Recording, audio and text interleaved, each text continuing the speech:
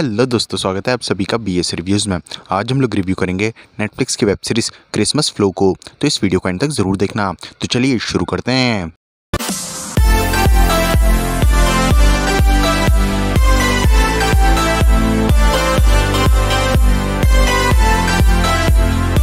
तो Christmas flow ये web series आज ही नेटफ्लिक्स पे रिलीज़ हुई है।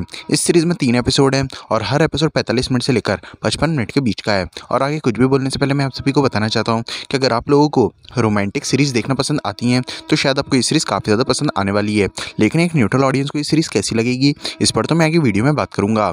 अगर हम इसकी कहानी की बात करें तो ये कहानी है मार्कस नाम के एक रैपर और लीला नाम की एक जर्नलिस्ट की। तो किस तरह से ये दोनों मिलते हैं, फिर किस तरह से इन दोनों में प्यार होता है, फिर आगे जाके इन दोनों की लाइफ में क्या क्या होता है यही सब इस सीरीज़ की कहानी है। अगर हम इसके स्क्रीन प्ले की बात करें तो इस सीरीज़ का स्क्रीन प्ले ठीक ठाक ही है। यानी बहुत ज़्यादा अच्छा तो नहीं है, लेकिन बहुत ज़्यादा ख़राब भी नहीं है। क्योंकि जिस तरह से ये सीरीज़ स्टार्ट होती है और अपनी पूरी सिचुएशन को स्टैब्लिश करने की कोशिश करती है, वो सब इतना अच्छा तो है ही कि अगर आप लोगों को रोमांटिक सीरीज़ देखना पसंद आती हैं तो आप उन सारी चीज़ों को काफ़ी पसंद करने वाले हो। क्योंकि उन सारी चीज़ों को काफ़ी टिपिकल वे में लिखा गया है। मतलब जिस तरह से ये दोनों दूसरी बार मिलते हैं, उसी से आप ये समझ जाओगे कि ये सीरीज़ आगे जाके कैसे एंड होने वाली है। क्योंकि जिस तरह से इस सीरीज़ का वो सीन लिखा गया है ना, वो इतना ज़्यादा घिसा पिटा है कि बस क्या ही बोलूँ।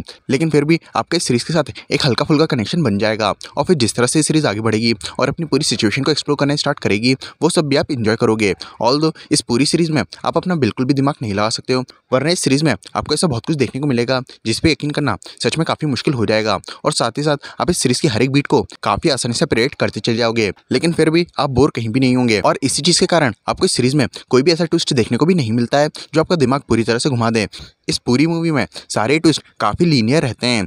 लेकिन फिर भी जब भी कोई ट्विस्ट आता है तो हम इस सीरीज़ के साथ और भी ज़्यादा अच्छे से कनेक्ट हो जाते हैं। और जहाँ तक बात है कैरेक्टर डेवलपमेंट और कैरेक्टर्स के बीच डायनामिक्स की तो सभी कैरेक्टर्स को इतने अच्छे से तो लिखा ही गया है कि हमारा लगभग सभी कैरेक्टर्स के साथ एक ठीक ठाक सा कनेक्शन बन जाता है। और जो कैरेक्टर्स के बीच डायनामिक्स थे, वो भी मुझे ठीक ठाक ही लगे हैं। और अगर हम एक्टिंग की बात करें तो सभी एक्टर्स का काम अच्छा है। बहुत ज़्यादा अच्छा तो नहीं बोलूँगा, लेकिन अच्छा ज़रूर है। और जहाँ तक बात है डायरेक्शन और एडिटिंग की तो डायरेक्शन तो इस सीरीज़ का काफ़ी टिपिकल है। क्योंकि डायरेक्टर ने कुछ भी नया और अलग नहीं किया है। और डायरेक्टर ने इस पूरी सीरीज़ को काफ़ी रूटीन बनाया है। और जो एडिटिंग थी, वो मेरे ख्याल से काफ़ी बेहतर होनी चाहिए थी। क्योंकि मेरे ख्याल से इस सीरीज़ के हर एक एपिसोड की लेंथ थोड़ी कम की जा सकती थी। और अगर हम प्रोडक्शन क्वालिटी की बात करें तो वो अच्छी है। तो ओवरऑल मैं यही बोलना चाहूँगा कि अगर आप लोगों को रोमांटिक सीरीज़ देखना पसंद आती हैं तो शायद आपको ये सीरीज़ काफ़ी ज़्यादा पसंद आने वाली है। लेकिन अगर आप एक न्यूट्रल ऑडियंस हो तो भी आप इस सीरीज़ को देख सकते हो। आपका एक ठीक ठाक सा टाइम पास हो जाएगा। तो आपको ये सीरीज़ देखनी या नहीं, ये आपके ऊपर है। और अगर आप लोगों ने सीरीज़ देख लिया तो मुझे कॉमेंट्स में ज़रूर बताना कि आपको ये सीरीज़ कैसी लगी। और अगर आपको वीडियो से रिलेटेड कोई सजेशन या शिकायत नहीं हो तो भी आप हमें कमेंट्स में बता सकते हैं, या फिर हम इंस्टाग्राम में ट्विटर भी फॉलो कर सकते हैं लिंक डिस्क्रिप्शन में आज के लिए बस इतना ही दोस्तों। अगर वीडियो अच्छा लगा हो तो लाइक कर देना चैनल को सब्सक्राइब कर देना, और अपने दोस्तों में ये वीडियो शेयर कर देना। मैं मिलता हूँ आपसे अगले वीडियो में, तब तक के लिए जय हिंद, जय भारत।